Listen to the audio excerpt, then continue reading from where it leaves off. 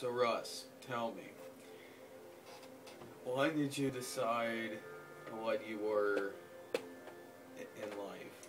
Oh, Chad, that's a good question. I was on a computer one day and I went to Apple's website and I said, I want to be a developer. I just love to have applications. I just love to work with software.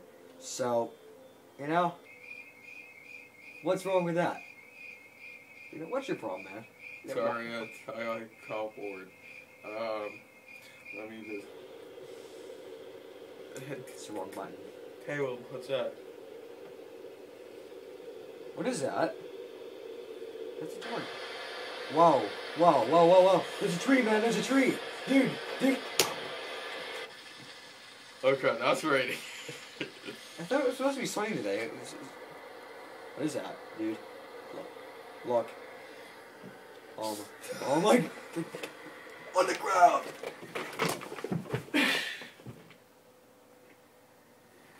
Oh, great, great. Now we're being flooded. Oh, we're close. We're close to the door. You know what? I'm going back to my job. Go back to